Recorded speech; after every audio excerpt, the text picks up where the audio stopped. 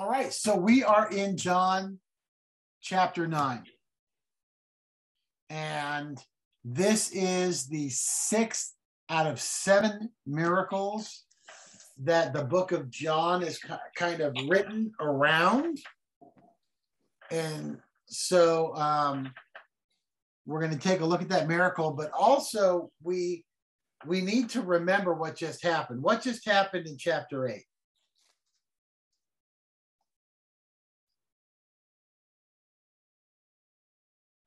Anyone? Jesus just confessed that he was God. Exactly. He said, Before Abraham was, I am. What was the Pharisees' response to that little tidbit of info? Well, to put it really short, who's your daddy? That's right. Well, yeah, Jesus was Jesus was at, Jesus was basically telling them who their father was and revealing who his father was, and in the process of doing so, revealing his divinity. Now, what's really interesting is that whether or not this happened as Jesus was leaving the temple, it really doesn't matter if it was immediate or if it was later. John purposefully puts this miracle here right after Jesus is claimed to be the I am, the creator. And so it's very interesting to see. Um, it's very interesting to see what what transpires. I broke this up, I believe, into seven parts um, main parts, a lot of little sub parts under those. But the first part is John 9, 1 through 5, and I've called it the discussion. And then the second part is John 9, 6, and 7. And I titled that the demonstration. The third part, John 9, 8 through 17. I have entitled that The Division. Then the fourth part, which is John 9, 18 through 21, I've entitled The Interrogation. The fifth part, John 9, 22 through 24,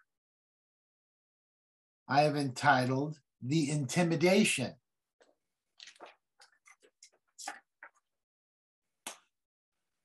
Part 6, John 9, 27 through 33, but also including verse 17. I have entitled The Indictment. And part seven, which is John 9 34 through 41. I've entitled The Important. So we have the discussion, the demonstration, the division the interrogation, the intimidation, the indictment, and the important. Okay. So um, we're going to walk through that. Uh, John chapter 9. And I'll tell you what, let's have Pat. Would you read for us that entire chapter? Okie doke.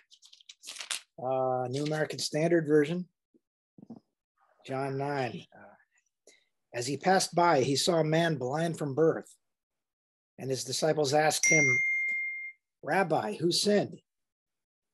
This man or his parents that he would be born blind? Jesus answered, It was neither that this man sinned nor his parents, but it was so that the works of God might be displayed in him.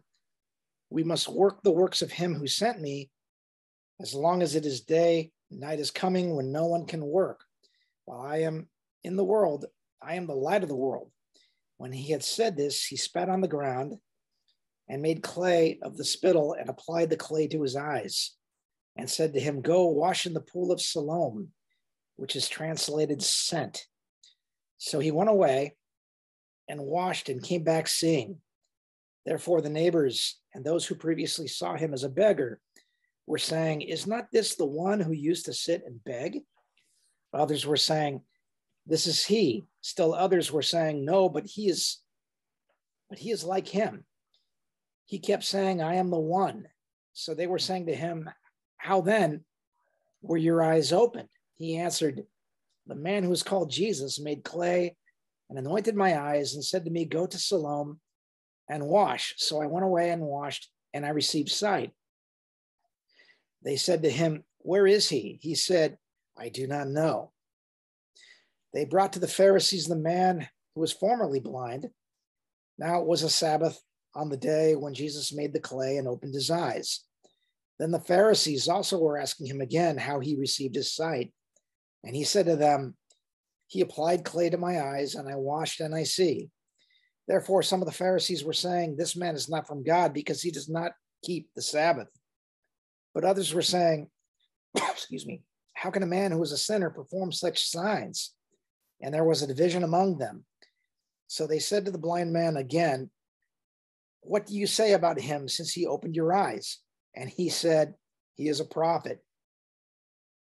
The Jews then did not believe it of him that he had been blind and had received sight until they called the parents of the very one who had received his sight and questioned them, saying, Is this your son, who you say was born blind? Then how does he now see? His parents answered them and said, We know that this is our son and that he was born blind, but how he now sees, we do not know. Or who opened his eyes, we do not know. Ask him, he is of age, he will speak for himself. His parents said this because they were afraid of the Jews, for the Jews had already agreed that if anyone confessed him to be Christ, he was to be put out of the synagogue. For this reason, his parents said, He is of age, ask him. So a second time they called the man who had been blind and said to him, Give glory to God. We know that this man is a sinner. He then answered, Whether he is a sinner, I do not know. One thing I do know that though I was blind, now I see. So they said to him, What did he do to you? How did he open your eyes? He answered them, I told you already, and you did not listen. Why do you want to hear it again? You do not want to become his disciples too, do you? They reviled him and said, You are his disciple, his disciple, but we are disciples of Moses. We know that God has spoken to Moses. As for this man, we do not know where he is from. The man answered and said to them, well, here's an amazing thing that you do not know where he is from, and yet he opened my eyes. We know that God does not hear sinners, but if anyone is God fearing and does his will, he hears him. Since the beginning of time, it has never been heard that anyone opened the eyes of a person born blind. If this man were not from God, he could do nothing. They answered him, You were born entirely in sin. And are you teaching us? So they put him out. Jesus heard that they had put him out and finding him, he said, Do you believe in the Son of Man? He answered, Who is he? Lord, that I may believe in him. Jesus said to him, You have both seen him, and he is the one who is talking with you. And he said, Lord, I believe. And he worshiped him. And Jesus said, For judgment I came into the world so that those who do not see me see may see, and that those who see may become blind. Those of the Pharisees were with him, heard these things, and said to him, We are not blind too, are we? Jesus said to them, If you were blind, you would have no sin. But since you say, We see, your sin remains. And there you go. There you go. So that is a uh, pretty enthralling story of what goes on there and there's a lot there that i think that we need to look at and realize so let's look at the first five verses there, which I entitled The Discussion. And there's four points here. It, first, let me read it again. It says, And as he passed by, he saw a man blind from birth. Now, the verse at the verse before this says, Therefore they picked up stones to throw at him, but Jesus hid himself and went out of the temple. And then the next is as he passed by. So is it possible and I think it is, that Jesus was leaving the temple when he saw this man. It's it's it's completely possible. Um, we don't know for sure, for sure. But whether it is or not, John purposefully placed these verses here to be a witness and uh, and a uh, testimony to what Christ had said in in verse uh, 58 of chapter 8, which is verily, verily, I say to you, before Abraham was, I am, which is a pretty strong statement. So there's a few things I want to point out here. It says he passed by and he saw a man blind from birth, and his disciples asked him, Rabbi, who sinned, this man or his parents, that he would be born blind? And Jesus answered, It was neither this, this man, it is neither that this man sinned nor his parents, but it was so that the works of God might be displayed in him. We must work the works of him who sent me as long as it is day. Night is coming when no one can work. While I am in the world, I am the light of the world. Now, let me ask you, what do you see as a difference here between Jesus's response or Jesus's view of the man and the disciples' view of the man? There's I really see a danger here in the in the disciples heading down the road of the Pharisees. And, and the reason I say that is is that Jesus sees the man and the humanity. The disciples look at this man in suffering and see a theological question. There doesn't seem to be any indication that the disciples had any compassion on this guy. In fact, their questioning about him is pretty derogatory. Why is this man? They're not, they don't care about his suffering. They care about the theological question of why he's blind. Is it his fault or his parents' fault? Which, by the way, reveals uh, that they grew up with some bad theology to begin with.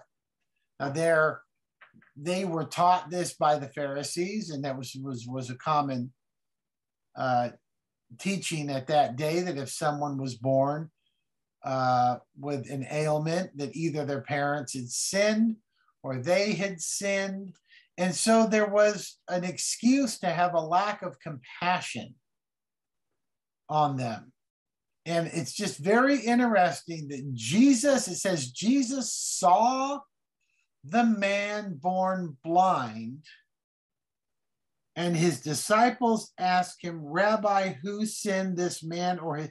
There's no indication of any compassion on this man who has been begging his entire life because he has no other choice but to do so. At never being able to enter into the temple, never being able to uh, partake in that. And there's no brokenheartedness or compassion by the disciples for the, the position this man is in. Instead, they have a theological question because that suits their, their own spiritual pride. But what is Jesus? How does Jesus respond to that? It says, Jesus answered, It was neither that this man sinned nor his parents, but it was so that the works of God might be displayed in him. Jesus dismisses their bad theology and brings their attention back to the fact that this man was created in the image of God. And so there should be a natural dignity. And we were we were kind of talking about that earlier in regards to the homeless situation. And there's always been homeless, or I mean, back in the 30s and 40s, they were called hobos. But that's always been a situation. And we know that the situation is mainly driven by drug addiction and it's very easy to be discompassionate about their circumstance because it really is made by their own doing. All, most of our suffering, folks, is made by our own doing. And yet, they are created in the image of God. They are in need of salvation. The disciples looked at the blind man and wanted to satiate their own theological ego by asking this question, where Jesus was concerned with the man being restored to the image of God. And so Jesus says, Your question has nothing to do with your question. This man was born blind so that God would be glorified in him. This also, by the way, goes back to the fact that how do we look at those who are lost around us?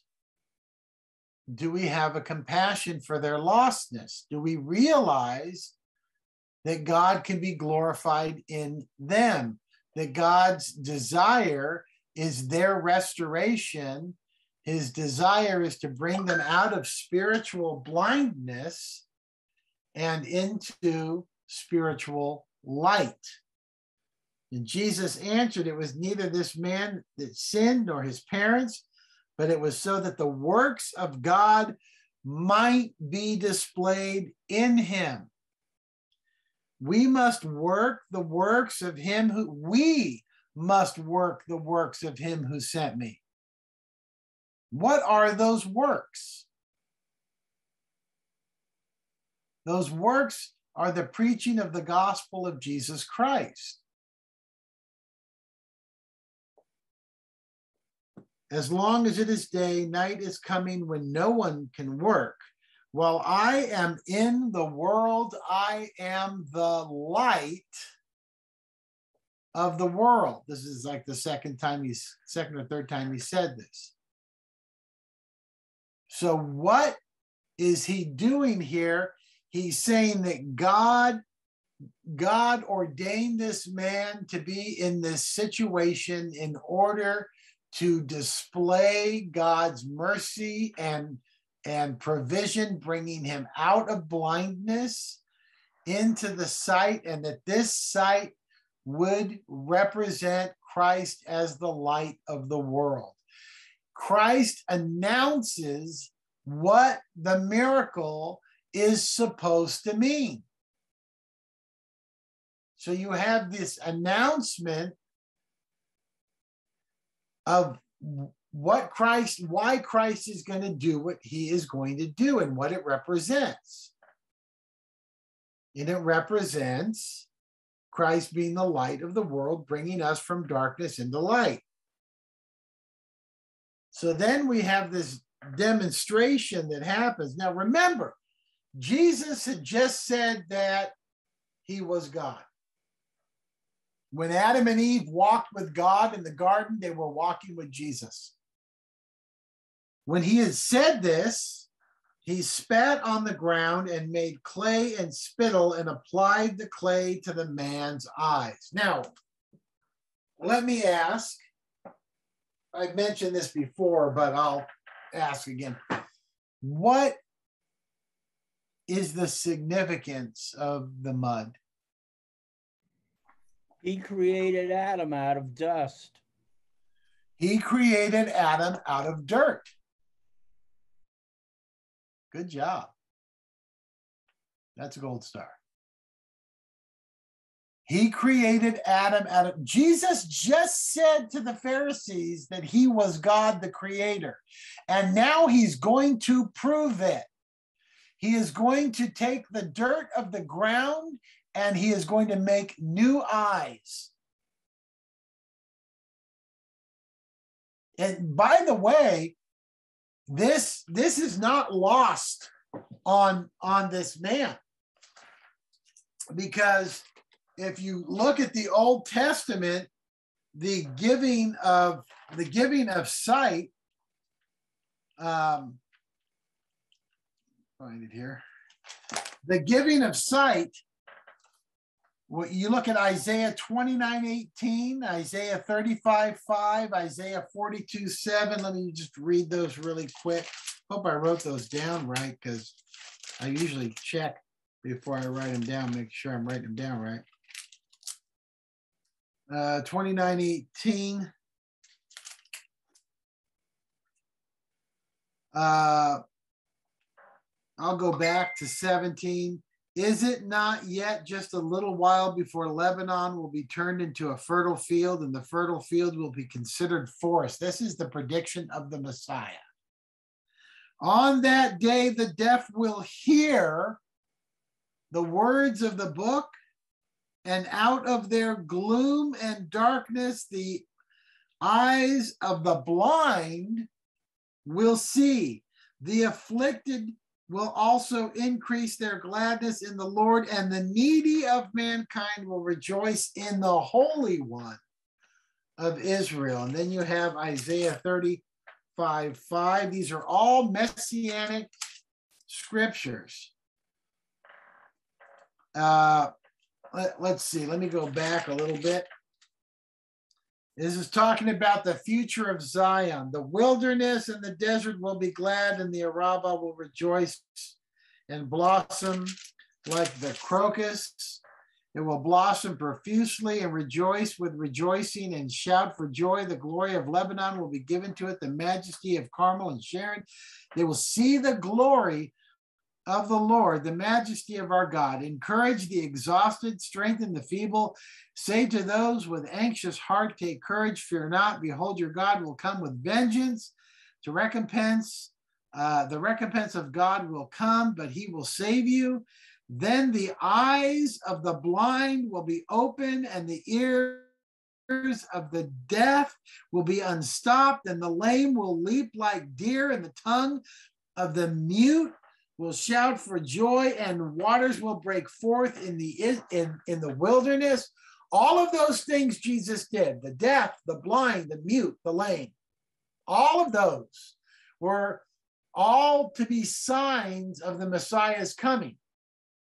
Then in isaiah 42 7 it says um, Thus says the Lord of God, I'm going to go back to verse 5. Thus says the Lord of God, who created the heavens and stretched them out, who spread out the earth and its offspring, who gives breath to the people on it and the spirit to those who walk in it. I am the Lord. I have called you in righteousness. I will also hold you by the hand and watch over you, and I will appoint you as a covenant to the people, as a light to the nations. What did Jesus just say? I am the light of the world to open blind eyes, to bring out prisoners from the dungeon and those who dwell in darkness from prison. All of these verses in Isaiah that have to do with the blind receiving their sight are all messianic verses. So not only do you have Jesus fulfilling these verses, but he does it in a way that's reminiscent of the Genesis 1 creation of man. He God formed Adam out of dirt.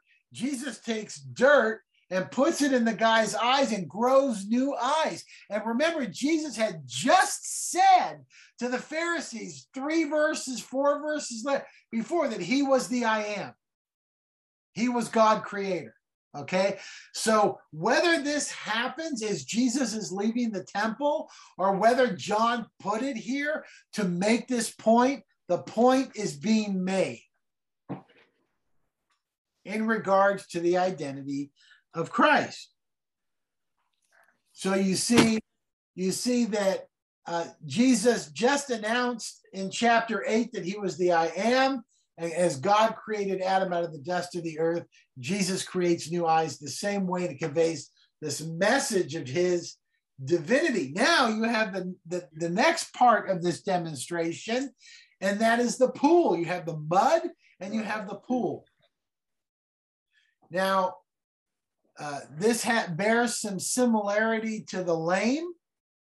Remember when Jesus healed the lame? One, it was done by a pool. Two, it was done in an unorthodox manner. Three, it was done on the Sabbath. And four, it created a stir. So first, let's look at, at three things in regard in regard to the connection of the pool. It, he said, uh, as he, he spat on the ground, made clay of the spittle, applied the clay to his eyes. And, and again, here, let me just say that there is a picture of salvation in this. Who is it that made the clay? Who is it that applied it to the eyes? Very much like it is the Spirit that grants faith and the Spirit that grants repentance. It is salvation is an act of God upon the soul of man. And he said to him, Go wash in the pool of Siloam, which translated means sent. So he went away and washed and came back seeing. So you got three things here. The first thing is the name of the pool the name of the pool. The name of the pool is sent. Jesus was sent to give sight to the blind. You have again a picture of water and of cleansing, washing away the, the dirt that represents, remember the dirt, God made Adam from the dirt. It represents the flesh. The flesh of man is being washed away, new eyes. Very similar, by the way. Remember what happened to Paul? He had, he couldn't see. And then it says, scales fell from his eyes. To very similar thing going on here because the, when the man comes back, comes back a very different person. So you have first the name of the pool, sent. Then you have the obedience of the man to obey and go and do what Jesus told him to do. And the action of washing Jesus said, Go and wash. This is very reminiscent of, of the cleansing of salvation. And again, you cannot miss the example of Christ's divinity that is happening here as well. So then it says he goes and washes, and then it says he comes back seeing. So now we have a division that begins to take place. It says, therefore, the neighbors and those who previously saw him as a beggar were saying, Is not this the one who used to sit and beg. So they recognize him as the they recognize him as the guy who has been begging, but it's it's like have you ever have you ever been somewhere and you see someone you know and and it doesn't register because you're not seeing them in the context of you know where you always maybe you always see them at work and then you go to the store and they're there at the store and it takes a minute for you to register because you're so used to not seeing them in that context it's very similar here this guy comes back he's obviously happy he can see can you imagine though too that he is seeing things for the first time. I was watching this this YouTube the other day, and it, would kind of choke me up. The uh, it was Father's Day or birthday or something, and I guess the father, it's true, it's a YouTube, um, had, was colorblind. I mean, couldn't see any color. And so his kids bought him these glasses that allow colorblind people to see color. And it, I'm telling you, it'll make you choke up. He put these glasses on and he just starts weeping. Because for the first time, he's seen the color of his children's eyes. He's seen the color all around him of everything, the presents that they got him, you know and he just can't help it. He keeps putting them on and crying, taking them off, putting them on, crying, taking them off. Can you imagine? This man wasn't just colorblind, he was blind, blind. All of his life, he'd never seen a tree, he'd never seen a person, a building, a dog, or a cat, or a sheep, or a goat. or water. And as he goes down into this baptismal of water and comes out, he comes out seeing. For the, I mean, this had to be a big deal. You know that his friends had to have taken him down to the river, to the pool of Siloam, can you imagine? When he comes up, he goes, I can see you. What am I wearing? What am I wearing? I don't know. You know, I don't know what red is, but you don't know what red is. You don't know what blue is, right? Now he's going to have to learn what the, but he sees all of these things that he's never seen before. I'm going to tell you, when I got saved, I saw the world completely different overnight. Overnight. And it was it was amazing.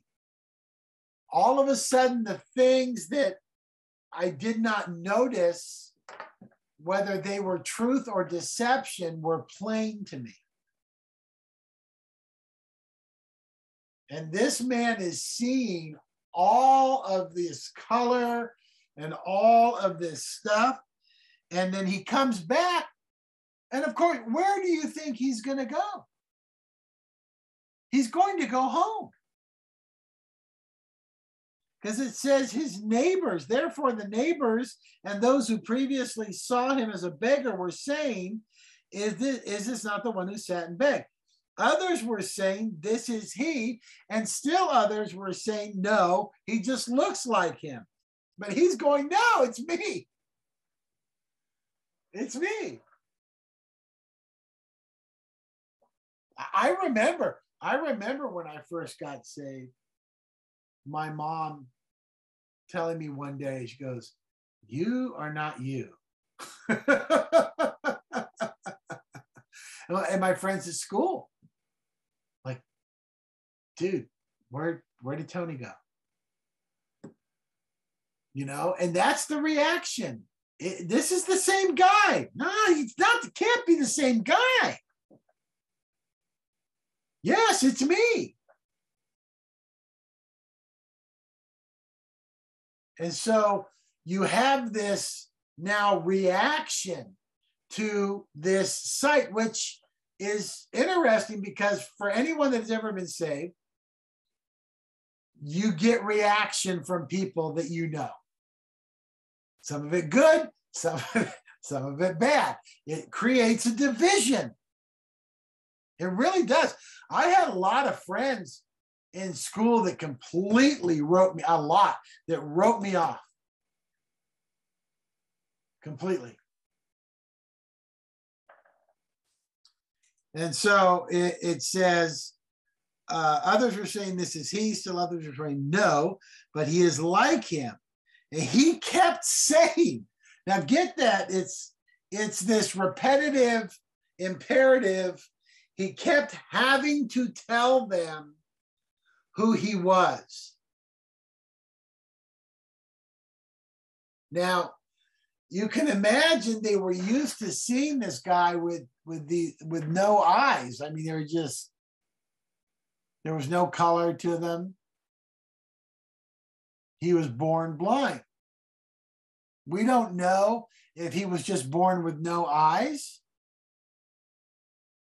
or doesn't matter because when Jesus took that dirt, like God did with Adam and made Adam from the dirt of the ground, Jesus took that dirt and made eyes,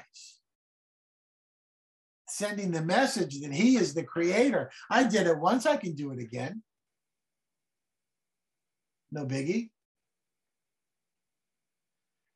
But there is really, uh, there's really a, a division that is being created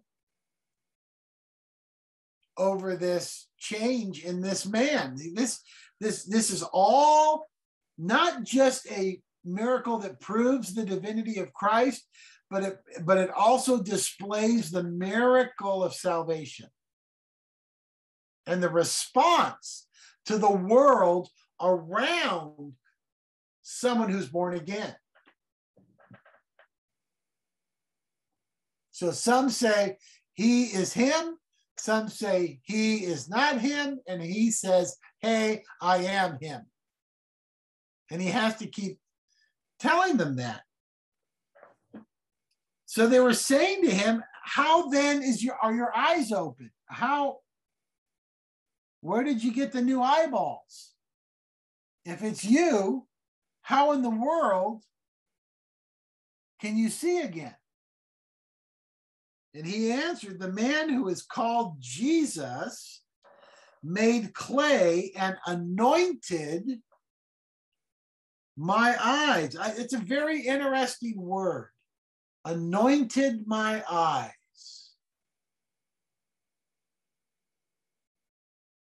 He anointed my eyes.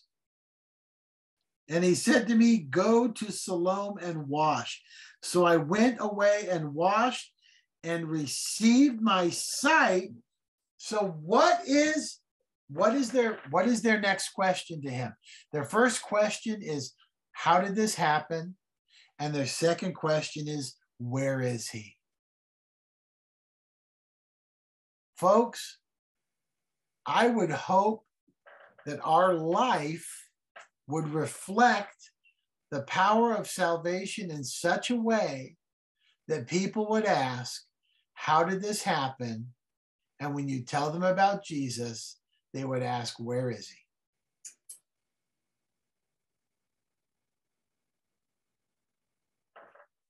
I, I, would really, really hope.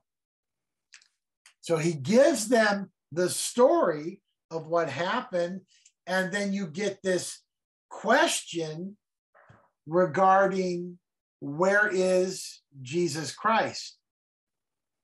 And then what does he say? I don't know. And the response, of course, to this, the response to this is to take him to the people who should know. But I'm going to stop right there.